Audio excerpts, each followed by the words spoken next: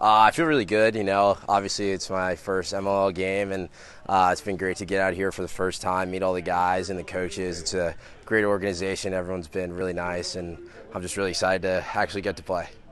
Uh, yeah, practice was awesome. Uh, it's a lot different than college. You know, I think a little bit more relaxed, but uh, I can really sense like the pace of play is is a lot faster, and the talent, you know, is amazing. So uh, it's something to really look forward to tomorrow, playing at the highest level right now.